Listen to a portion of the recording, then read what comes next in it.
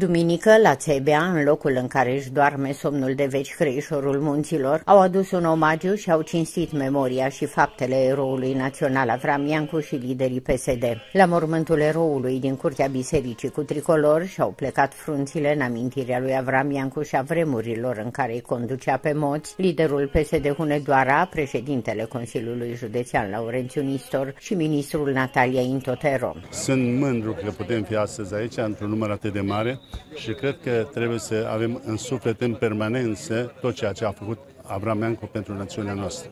Și testamentul său, unicul dor al vieții mele, trebuie să ne călăuzească în permanență. O mare bucurie să vedem foarte mulți români veniți din toate uh, județele țării, dar și din afara granițelor, astfel încât este emoția an de an pe care o trăim aici în cinstea creișorului nostru Avram Iancu.